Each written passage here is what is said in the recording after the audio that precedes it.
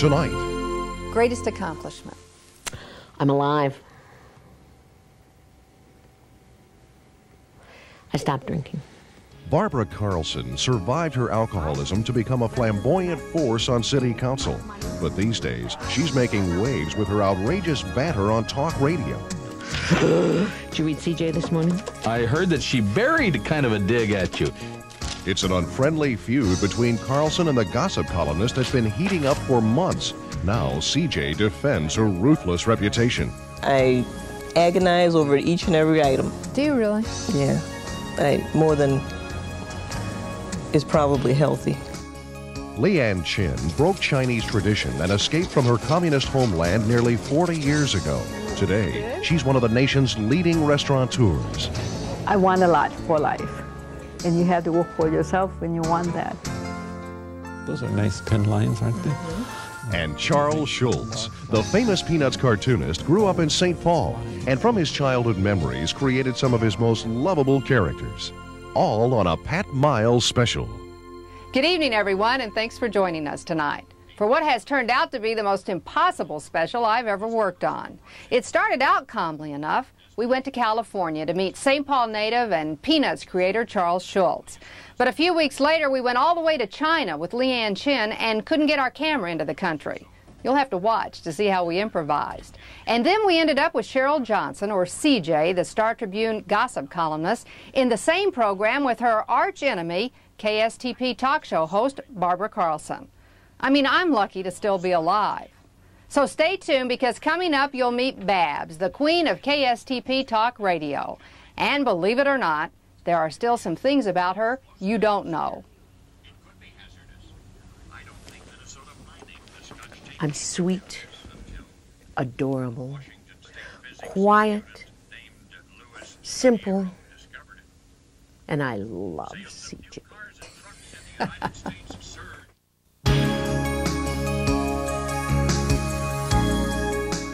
Open wide and swallow your daily dose of curiosity.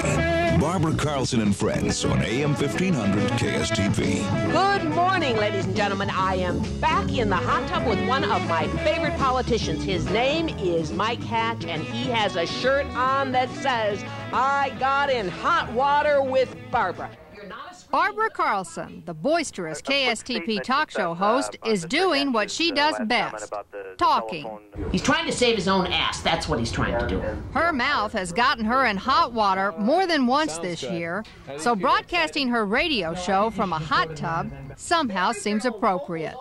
Like everything else she dreams up, this is a crazy kind of spectacle that generates the attention Barbara so desperately craves. Important I am an important person. I'm working on important issues. Queers and that kind of Queers? Oh, oh Just get rid of a him. moment. Goodbye, Jim. See, mention abortion or homosexuals, and you and I part company. I have no idea which Barbara I'm going to call up because Barbara's reinventing herself constantly. Peter Thiel should know. He's Barbara's producer and morning show sidekick. There are a lot of people that are sometimes very scared to say what, what's on their mind because they're scared of ridicule. And Barbara is willing to take that chance. She doesn't try and uh, work from a recipe.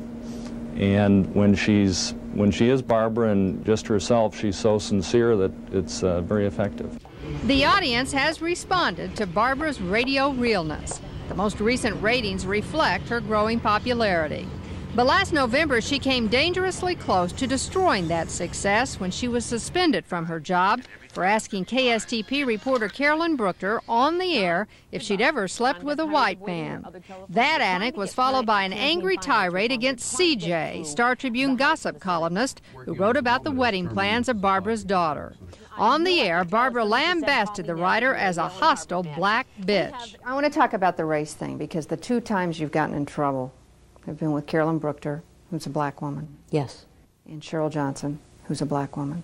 Both of whom say that you're a racist. Are you a racist?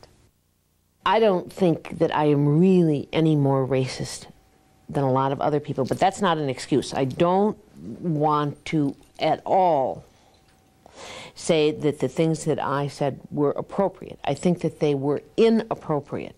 With CJ, I should have called her simply a hostile bitch. The fact is, she is constantly taking cheap shots at people. Constantly. And I wanted to know well how it But- feels, wait, wait, and wait, it hurt. Barbara, isn't that what you do too, though, on your show? I don't think that I'm hurtful to people. Giving the governor's pet name for his, His penis, was on the air. inappropriate. Is that, was hurtful? Any, I was Is in- that hurtful? inappropriate. Is that Uh, did it hurt him? I've I suppose it did. But the point is, is that I think that CJ would say to you that she doesn't go out specifically to hurt anyone either. I don't believe that. Because I've talked to her, I've been on the other side. Now, you didn't let me finish something. If you were to call me, or if, if Ernie were to call and say, Barbara, cut, cut it out, I probably wouldn't do it. I asked her not to do it. When you're in a public uh, figure, you're fair game. I'm fair game for CJ. I was a political figure, and I'm out there. My kids are not. For eight years, Barbara served on the Minneapolis City Council. Eight years her constituents and fellow council members won't soon forget. The Kenwood housewife caused a stir, bringing attention to her political opinions, with everything from sweeping the streets of Minneapolis to driving a tractor around City Hall. But the voters turned her down in her bid for re election in 1989. She chalked the loss up to betrayal on the part of several council members who she said worked for her defeat. But a revealing article in the Star Tribune didn't help either.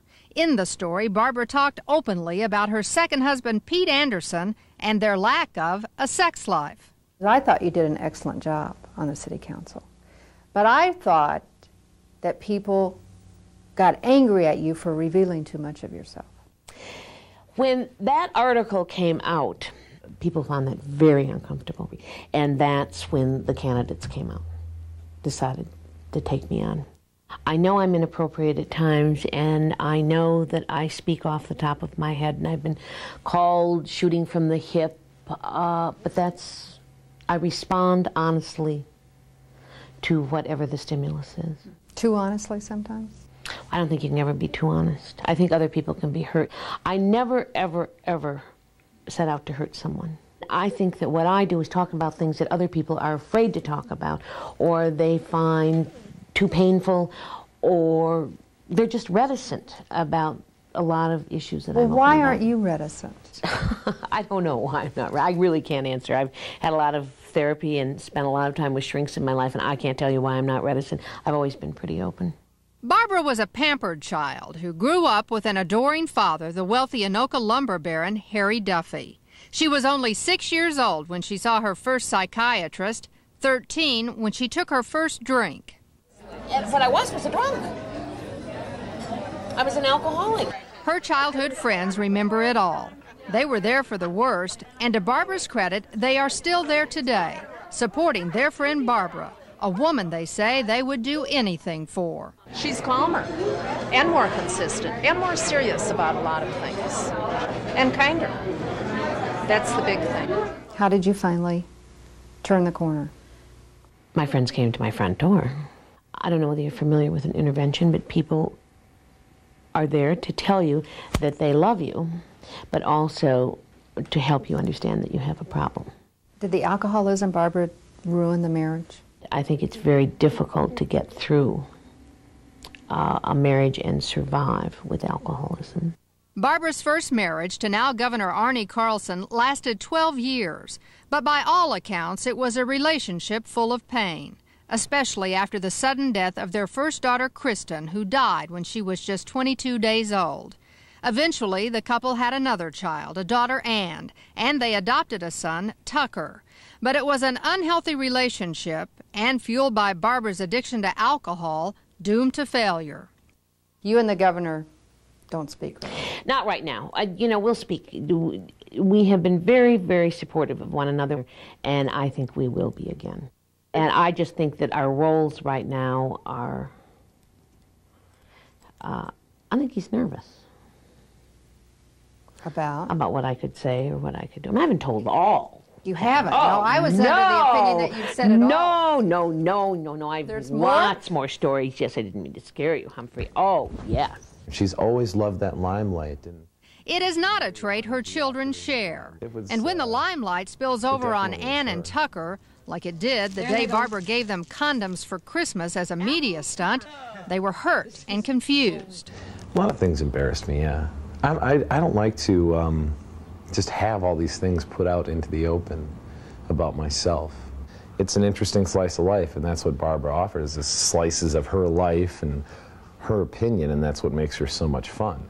If you ask anybody around her, we all love that about her, but we also all just get driven ex- to the, to the limits by it. But she talked about your sex life, for example, and I remember Mhm. thinking, oh, shouldn't talk about that in the paper. No, she shouldn't. And I, um, uh, yeah, we've had a few words about that. And uh, I tell her that I feel invaded, uh, as in raped, when she opens up things like that to the general public. Uh, but there again, Barbara's going to do those things, and there's no way I'm going to change her. Next month, Barbara and Martin Pete Anderson will celebrate their 10 year wedding anniversary. After their first date, Barbara says she decided Pete was too old and not rich enough for her. But these two opposites attracted each other in spite of their differences. Life today starts out with a morning card game at the breakfast table, interrupted only by Barbara's decision to bake some cookies. Well, Barbara, it's not a good time probably to ask you about your diet when you're making chocolate chip cookies. I still don't keep everything down, and I'm certainly not as thin as I would like to be. It's going to be an issue my entire life. You know what sounds great about Pete is he really doesn't try and tell you what to do, does he? I will tell you that he I mean, like me. not eating the Yeah. I mean, he- off your fingers. Um, Pete Anderson has brought a tremendous amount of peace and tranquility into my life. What have you brought to his life? A lot of fun. The morning is young, ladies. Let's go. Watch us, because we may pull off. It's got to be the other way, goddammit. Do you have any coffee pots? All right, are we out of here? Little power walking. Power shopping with Barbara. On the weekends, Barbara pursues her favorite pastime, antiquing, and she does it with the same feverish pitch she brings to the radio. But last month, Barbara gave up her Saturday morning garage sale ritual to attend her daughter Ann's wedding. So she's only going to have a curl on one side? And mom loves her dress, so she's gonna. Oh, cameraman can't come in. here. I'm just proud to be your mom. Thank you. I love you. Me too.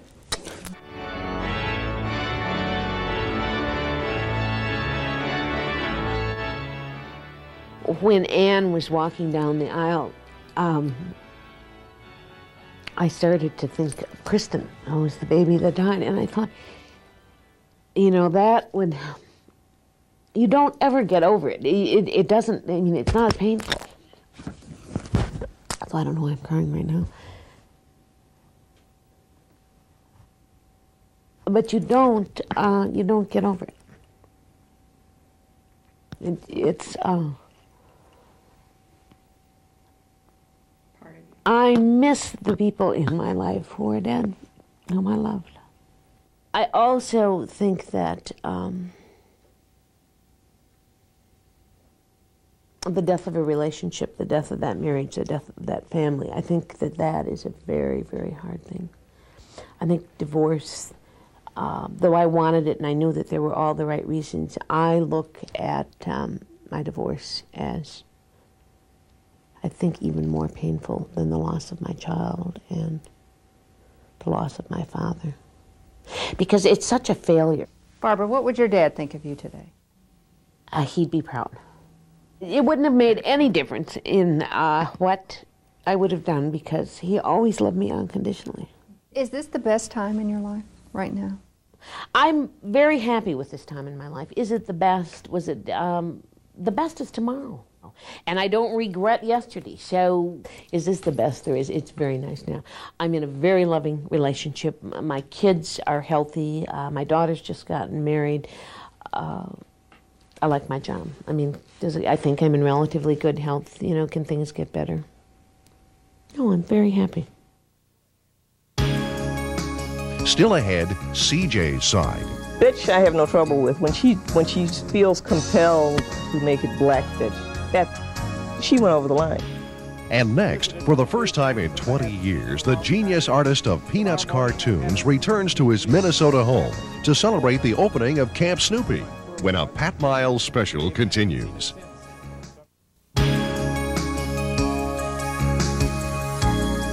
Oh, I've been drawing ever since I was very small.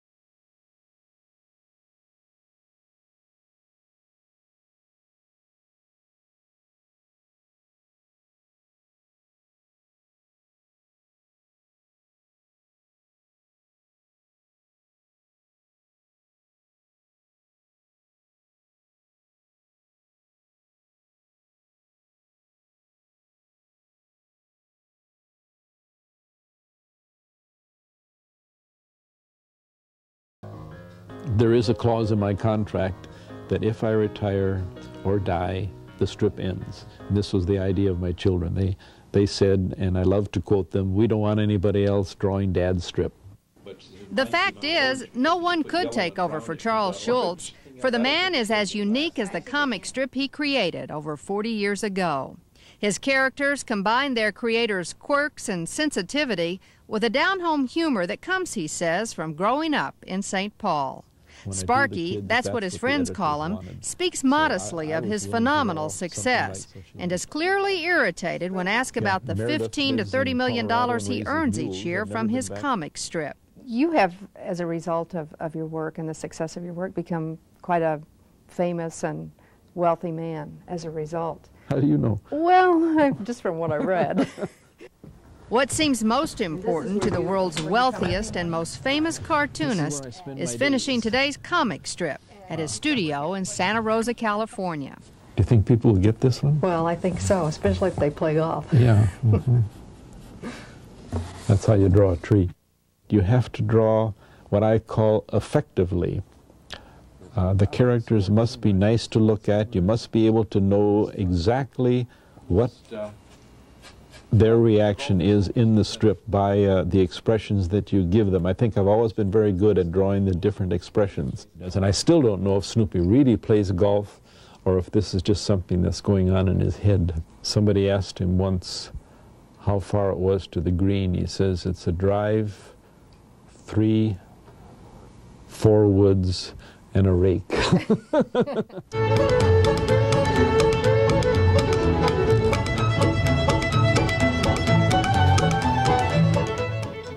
This must be a grand homecoming for you. Oh, it's wonderful. I haven't been here since, uh, oh, it's been about 20 years. Last summer, Schulz, who suffers from agoraphobia, overcame his fear of leaving home and made a rare trip back to Minnesota. The occasion was the grand opening of Camp Snoopy. Do you have a lot of, of childhood memories from Minnesota? One of the happiest times when I was small was when we listened to the radio and they would say the temperature this morning is 35 below and the following schools are closed. Schulz grew up in an apartment at the corner of Selby and Snelling in St. Paul. His father, a local barber, worked in a shop downstairs. As a young child, Schulz struggled with his schoolwork and his insecurities on the baseball field. The first team we ever organized, I suppose I was about 11 or 12, and somebody said to me in school that afternoon, I hear we're going to play you tonight. I said, Oh, I didn't know anything about it. Yeah, so we played, and we didn't have a chance. We got beat 40 to nothing, which is the foundation for Charlie Brown's losses. I'll never forget that game, getting beat 40 to nothing. We were totally out of it, never had a chance.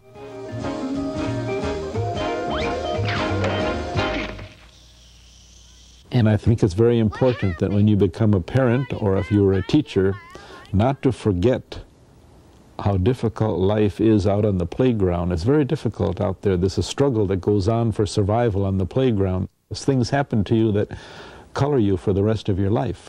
Schulz may not have been the best baseball pitcher in the neighborhood, but he was known as a kid who had talent with a pen, a skill he sharpened as an art instructor at a correspondence school in Minneapolis. By the time he was 24, Schulz had made up his mind. His sole ambition in life was to succeed as a cartoonist. I started drawing little kids one day in 1947 or 46, I'm not quite sure, and uh, somehow it worked. And the people at the correspondence school with whom I was working, my fellow instructors, thought they were kind of good. So I went over to St. Paul, and the executive editor there said, Sure, we'll run them every Sunday uh, back in the women's section someplace there in black and white. We'll give you $10 a week. As he continued drawing his little folks cartoon for the St. Paul newspaper, the characters began to evolve, taking their shape on the drawings of the homemade playing cards he and his friends at the art school created, and later exhibiting the merriment and fun Schulz and his friends enjoyed so much together. We used to play cards up at Sparky's. He was extremely amusing, very funny, and very, uh, very creative, you know. Frieda Rich, who was also an artist at the school, became and remains one of Schulz's close friends. But it was Donna Wold, the young secretary with the bright red hair, who captured the cartoonist's heart. It was an unrequited love he later immortalized between Charlie Brown and the little red haired girl. From talking to him and listening to him reminisce, Donna, it almost seems as if he really never got over you. Did you know how strongly he felt about you at the time, or was it not until you later saw no, the cartoons? I knew. I knew. That was, it was not easy.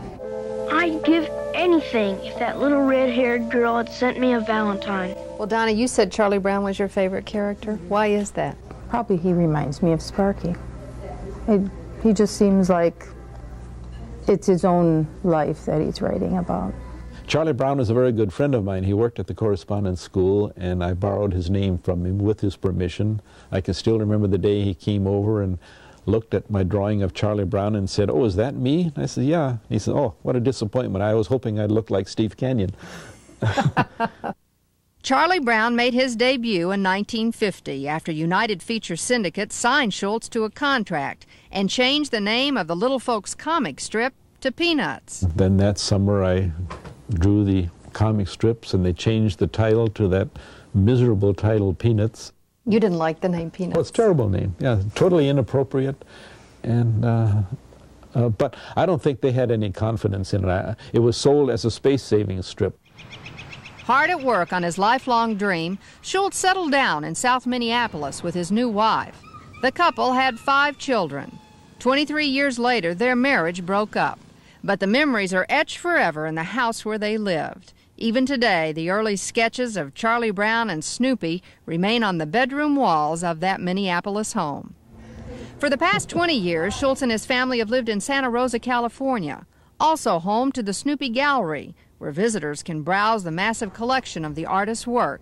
50,000 greetings Yeah. sent to Reagan, the one he liked best. It's wonderful. He, he's a very thoughtful person. Across the street from the gallery is the Redwood Empire Ice Arena, which Schulz spent $2 million to build back in 1969. It was his gift to all the people in the community who, he says, love skating as much as he does. Ladies and gentlemen, Charles M. Schulz welcomes you to this performance of A Christmas Portrait. Every year at the skating rink, Schulz plays host to a spectacular Christmas show where the winter wonderland of his youth is recreated on ice. His daughter Jill comes home each year to skate in the program. Did you have a sense as a kid that you that you had this sort of famous father?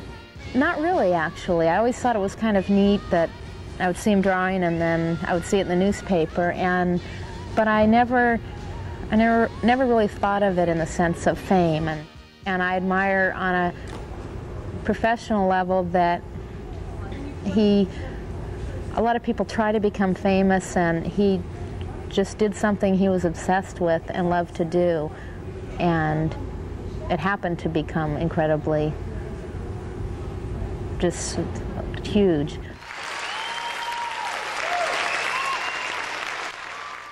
And, and people come from all over Yeah. to see this. They come from all over. We really have a lot of fun, and people do appreciate it. They really do. The impression that I have after meeting you is that you, you're very much a down to earth. Um, in many ways, not at all kind of carried away with, with the success you've had. That's because I don't know how. I would love not to be down to earth. I would love to be sophisticated and smooth and charming, you know, but I'm stuck with what I am. You know? You're not going to retire from this strip. I think the only thing that would help me retire would be ill health, although I went through bypass surgery and never missed a day. And I think a cartoonist uh, is very fortunate.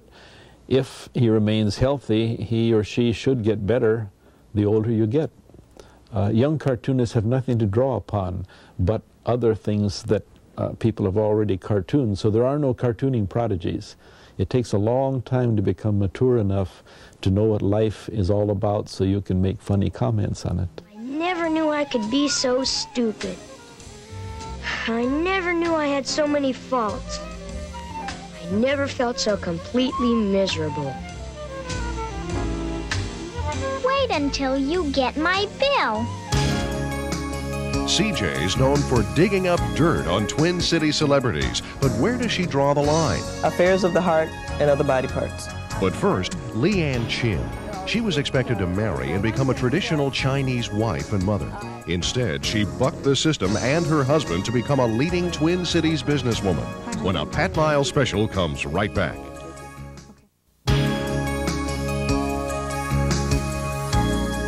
If you had stayed in Hong Kong and China, what would your life be like, do you suppose? Probably just uh, stay home and take care of the children and be a uh, quiet little housewife. You're pretty busy tonight. Well, here she is, Leeann Chin. They got our Chinese New Year billboard campaign in AdWatch. You can make water taste like soup. Get another roll of uh, shrimp, that should be enough. Two, four, six. Mm, looks good. Leeann Chin, to her own amazement, is anything but a quiet little housewife. In Minnesota, she and her elegant Chinese restaurants are famous. Today, she operates a multi-million dollar business chain, which includes 10 carry-out locations and a catering division. The author of two of Betty Crocker's top-selling cookbooks, she's a local celebrity who donates her time and her food to hundreds of charities. And all of this from a woman who 40 years ago, poor and uneducated, escaped from communist China. Leeann grew up in Canton, where her family operated a grocery business. Most of her relatives still live here, but it was decades before any of them saw Leeann again. For over 30 years, she lived in fear of returning to her homeland. Last month, Leeann, though, took her daughter Katie on a visit to meet her Chinese relatives for the first time. I think more than anything, meeting her family was the most special part of this trip. She endured so much, so much that we didn't even realize. I think historically, you know, yes, we knew the Japanese had invaded China where she lived. We knew that they had escaped communism, but until you get here, until you see the effects of what really happened to people and what she went through, what her parents put her through, she certainly is just, uh, has a very strong survival instinct. So, Leeann, tell, tell me a little bit about this photograph. People think of it as Canton, but it's actually not the name of the city, is it? They call them Guangzhou. This was your dad's grocery store, Yes. right? In yes, Canton. Yes. And upstairs, that's where we live. It was beautiful before. For over 40 years, they haven't done a thing. You let them get so old. As a child, Leeann lived in virtual servitude, working for her father at the grocery store, riding her bicycle sometimes 90 miles a day to make deliveries for him and exchange his money at the bank. When she was 18 years old, Leeann was sent by her parents to live in Hong Kong, where they had arranged for her to marry the son of a family friend. Leeann and her new husband Tony had their first child before they decided to board a ship headed for the United States and his relatives in Minnesota. I wasn't afraid. Uh, I was feel free. You felt free? Felt free. You know, I don't think Americans, and probably not even your daughter Katie, can understand that kind of fear because we've never had it. Never had it, yeah. It's really hard to explain.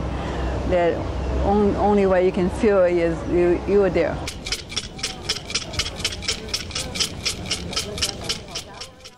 We used to do this when we were little. Is that right?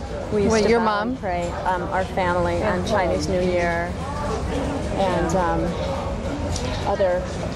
So you kept those traditions in your family? Used to. It was more cultural than religious, I think. The city of Hong Kong is an Asian gem, a fascinating international melting pot with a rich traditional Chinese flavor, a shopping and eating mecca. All you do is uh, slice them. Have you tasted that before? Yeah. yeah. In here, it's really sweet, and the mango too. Perfect for this food tour from Minnesota, led by a woman who still remembers the territory. I went so low on the teapot, the guy said, Get out of here! yeah. So I said, okay. I, I'm, I'm really good. I'm really good with it. If you see something, All right, I'm you going don't to show know you how- the teapot. You Okay. come here and see if you Okay. can do it. 梗系我哋诶已经过嚟要运大江咧，金堂嗰啲就唔得。 We didn't get our prize. We didn't get a prize, but that's okay. You're probably gonna see another one. Yeah. He's doing noodles now, you guys. He's doing noodles now. Ooh, that looks good. So do you do you go home with new ideas all the time? You do. Oh, yeah. You know, I figure each time when I get two things, then I it worth my time to go different places to eat and and look at new things. Because people create new dishes all the time. So once you arrived in Minnesota, Leeann, did you speak English? No, I don't speak any English. I was lucky. Uh, neighbors, it's so wonderful, and we can't speak, but we have coffee party every day. And then I start um, do some alteration at home, and that really helped me helped me a lot. Then I had to learn how to speak with uh, people. Leeann started sewing for her neighbors to make extra money, and it was her customers who eventually convinced her to teach cooking classes and cater Chinese food. I always enjoy that. To um, do the cooking, I, I like that a lot. I don't really get tired. I can work there hours and hours and just create new recipes and cook and talk to everybody. You just make sure you have enough pieces of meat for eight people. Leeann's cooking classes laid the groundwork for her first foray into the business world. Many of her students, eager to put their money where their mouth was, invested in the first Leeann Chin restaurant at the Bonaventure Shopping Center in Minnetonka.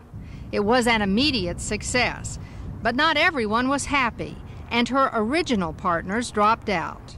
Now, I don't exactly know what happened, but the original people that started with you, there was some unhappiness there. They dropped off and you went on. Well, um, everybody do things different, and they don't think that I want a big business. I didn't dare to dream about bigger, and all my worry every day is making enough money to pay for the payment and pay for everybody and, and that. And that seems taking lots of my energies and my thinking, so I don't even dare to even think about how big I want to be or what. You were sort of learning on the job. Yes, because I never done it before. You know, I know is the, uh, I want to make sure everything is um, uh, customer-like, and they will come back, and that's what I'm concentrating with. Leeann's business success caught the attention of local food giant General Mills, which ended up buying her company with a promise to take the chain nationwide. The company failed to move fast enough, though, for Leeann, who bought her business back, determined to expand it herself. She continues to travel for General Mills, promoting her latest cookbook, one of the biggest selling international recipe collections in the Betty Crocker line. We're all set up and ready to roll. Okay. My guest is Leeann Chin. What is it that maybe I've been doing wrong? You try to cook too much in the same time. You must be Bob. I am. This is Bob Taylor. This is Leeann, Leeann Chin. Hi, everybody, and welcome to Fat Bob's Kitchen once again. So I always use chicken broth, no matter you cook meat or seafood or whatever. Look at the fun you're having. Oh, yes, I Are have there children? lots of Do you have fun. Five children and six grandchildren. Congratulations. You don't look Thank old you. enough to have any grandchildren. Oh, for yes. sake. Oh, yes. That's wonderful. Do they work in the restaurant? Did they? One, one worked for me. She and I both worked, you know, 16 to 18 hours a day, and really couldn't expect anybody but your children to do that, so or your relatives. So, Laura Chin is every bit her mother's daughter. Leeann says eventually she'll turn the business over to Laura, who now serves as vice president of the company. And she's um, um, an honest person too, so I trust her and I try to um, um, give her more responsibility. But it, it, it is sometimes very hard for a daughter to work for mother because the people don't see her ability much as she really can do. What was the hardest thing, Leeann, in all these years? To try to tell my husband that I'm actually go to work, um, huge responsibility. I don't think he understand. It was hard. How have you been able to keep that together when you guys have, feel so differently about about you and your success? I mean, someone even told me that he doesn't think you're a very good cook. I know. He didn't even like my cooking. he just want. He's uh, uh, just like old-fashioned, just like my father, and keep telling me that if I give you a compliment, then you won't try anymore. And sometimes they just get so mad because, uh, you know, you, you, you try so hard to please him and you can't. But look at what you've accomplished. Are you proud of yourself? Um, yes, and yet there's still lots of worry. And, and yet, this is the same person who got on a boat and came to America and didn't speak the language, and, and look at you now.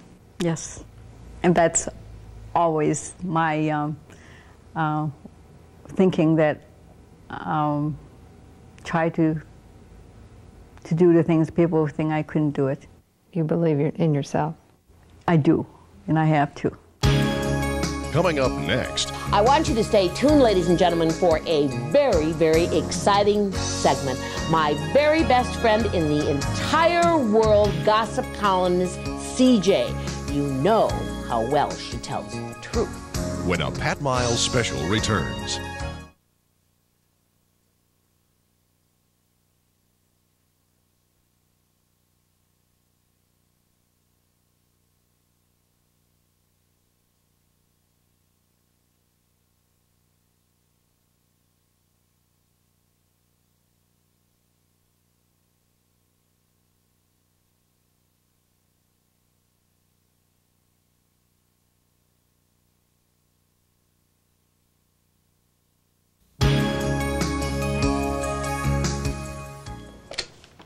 CJ here. I felt we needed a, a more cheeky, irreverent kind of gossip column. And I have an excellent source. I thought we needed to have more fun in it. Yuck, yuck, yuck, yuck, yuck. I wanted aggressiveness. I said, so you're telling me that he wasn't in the hospital, doesn't cut the mustard anymore. I know he was there. But did I envision what she's done with it? Absolutely not.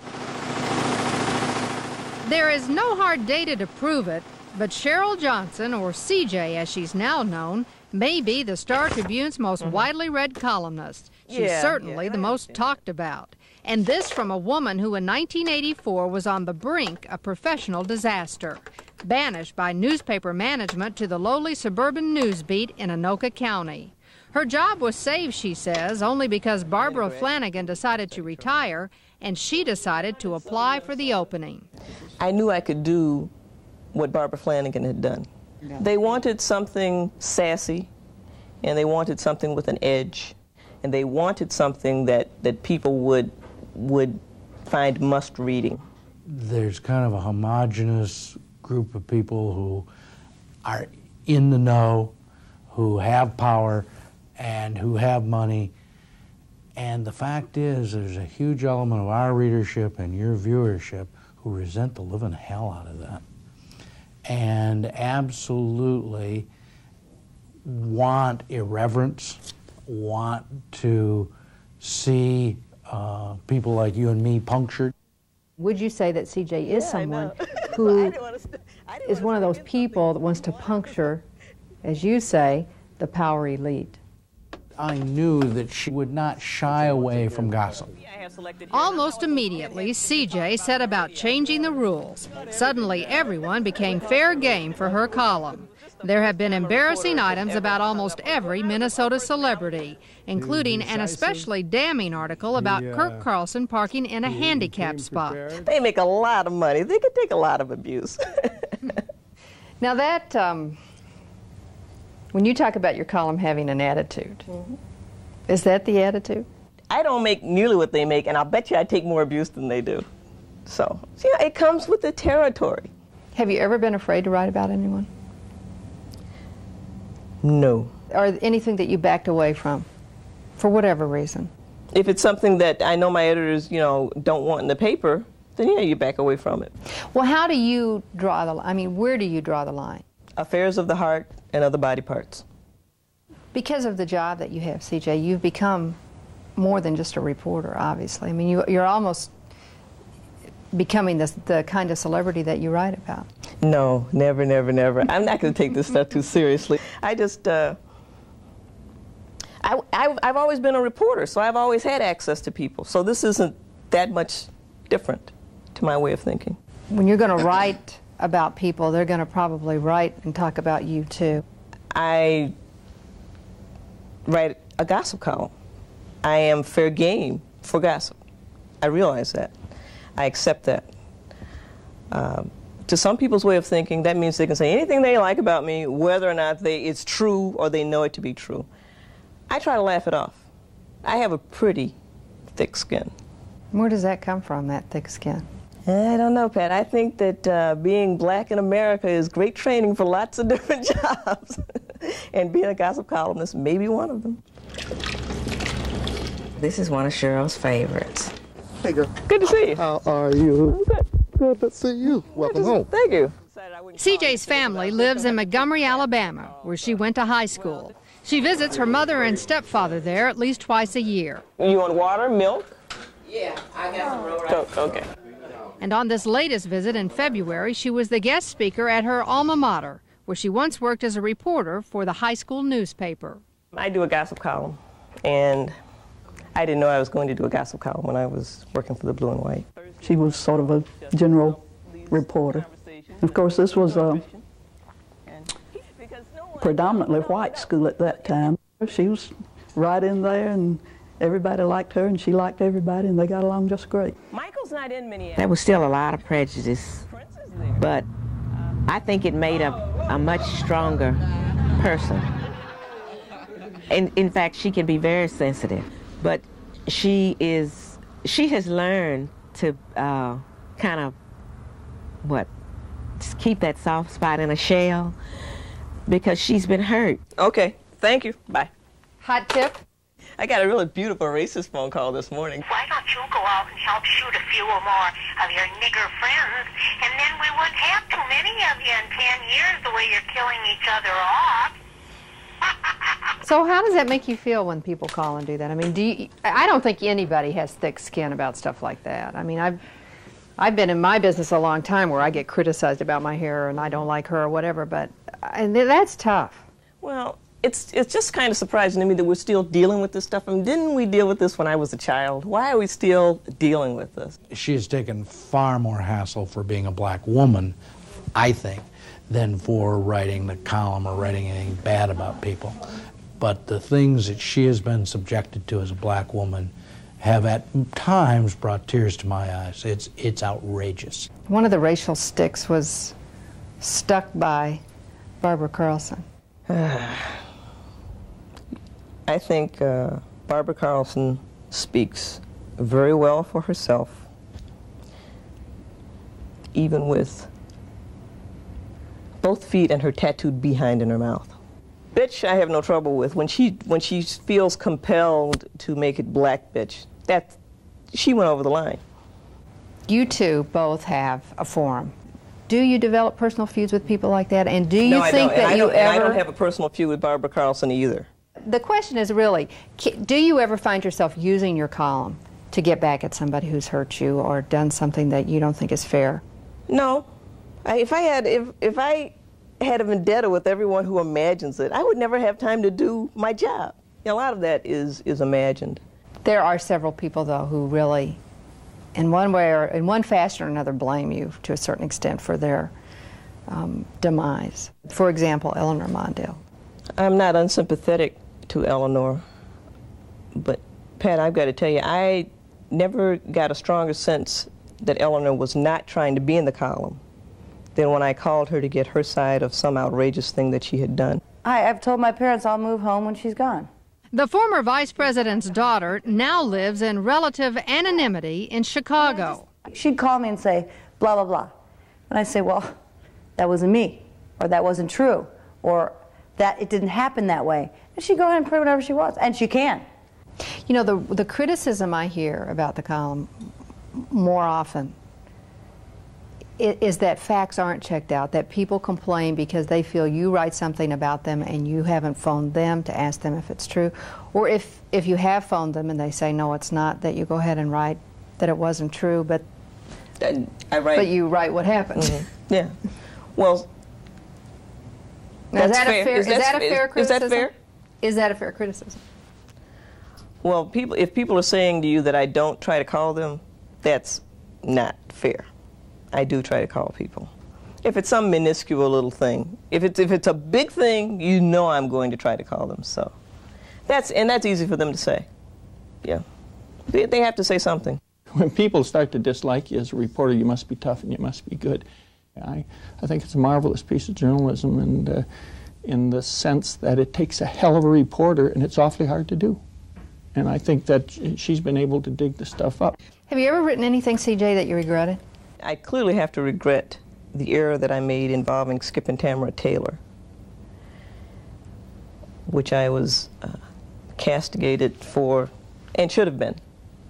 And that's where I mixed him up with another guy with the same name. Uh, Skip has a drug conviction in his past, but it wasn't this one. So, so I made I made a mistake, and I felt pretty bad about that.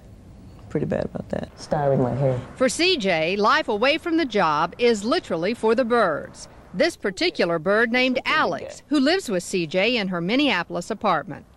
The columnist also likes to play tennis and basketball and prides herself on being something of an automobile aficionado, an interest that took her all the way to the Detroit Auto Show last January. Well, this this year I did go with a, a group of friends. I don't have many, many close friends, but these are some of my close friends. If something's not going right at work, they're the people I talk to. And I think that what she's doing now, people might think is frivolous, but she probably puts as much detail and, and care into her column now as any journalist would do about the biggest investigative story. Cheryl has always had a, a gift uh, for sensing the absurd and appreciating the uh, appreciating that sort of extra dimension that sort of comes out of this kind of, of column. Um, I think she found her niche. I, yeah. Have you found your niche with this column? Uh, this is a scary thought, but yes, we think we have. A Pat Miles special will return in a moment. Excuse me, I'm going to burp. Can we use that? Sure. Jeff, you better get away from me with that camera. I'm Pat, I noticed you don't have your hands on your face. I'm used to looking like a hell. so you can't hook it into my if I hook it behind her, you'll see it though. I don't care. He's been doing this for days, hooking microphones on my gosh. How's that? David, you need to get the girls. I love the way your children mind. In total control.